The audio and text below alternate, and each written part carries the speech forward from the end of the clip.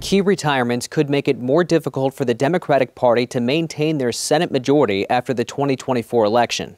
Senator Kyrsten Sinema announced she won't seek re-election in November. But that's just one of four races where the incumbent is stepping down in a state where Republicans have a legitimate chance to pick up a seat. Democrats currently have a 51 to 49 majority in the chamber. If they lose one seat, the majority will be decided by the vice president. If they lose two seats, Republicans take the majority. We can't take it for granted. We have to work hard uh, in all those states and others.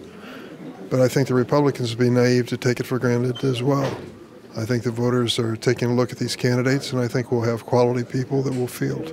Uh, good candidates, good campaigns, and uh, a, a, good, good pull, strong pull at the top of the ticket. But I'm optimistic. I think we'll take back the Senate. The Arizona race appears to be between Democratic Congressman Ruben Gallego and former Republican gubernatorial candidate Kari Lake, who lost in 2022. Polls show Lake is leading Gallego by three to four points. In West Virginia, Democratic Senator Joe Manchin is retiring, and Republican Governor Jim Justice is running to replace him. Polls show Justice is more than 30 points ahead of his next opponent and has a favorability rating of 73 percent. In Michigan, Democratic incumbent Debbie Stabenow is retiring.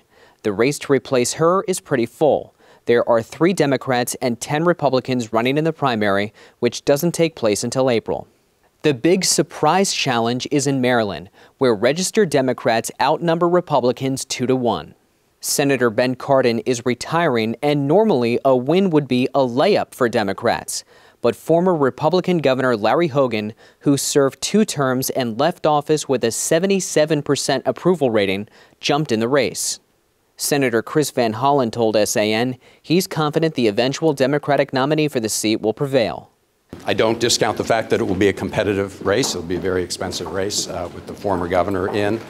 But Marylanders will understand very clearly that a vote for Larry Hogan is a vote to put um, the MAGA right wing Republicans uh, into control uh, in the United States uh, Senate. There are two more close races for Democrats in which the incumbent is running for reelection. In Pennsylvania, Senator Bob Casey told NBC News, quote, it'll be a close, tough race. And in Montana, Senator Jon Tester is just two points ahead of his challenger, veteran businessman Tim Sheehy. Straight from D.C., I'm Ray Bogan.